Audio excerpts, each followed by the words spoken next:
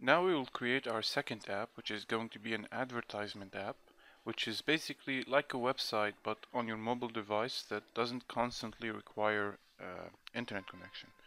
So if I go to test my movie, show you what this app does,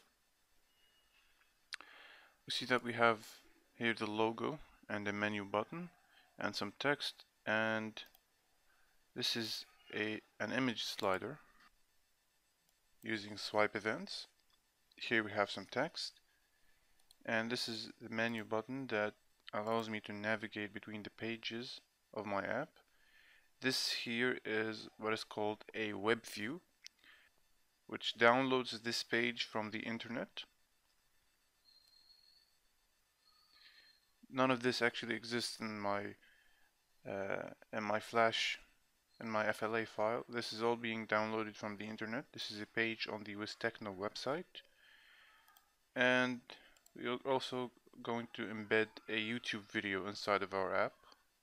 You can use the uh, custom or the default settings to or the default buttons to play and stop the YouTube video or you can create your own. This one plays the video and this one pauses it just opens. Okay. This one pauses it. Play pause. Also we have these social uh, links.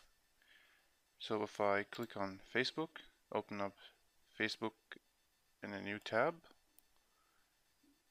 Also we have Twitter and Google Plus those also can open inside a mobile device. Okay, sounds like a good app to start with. So let's get started.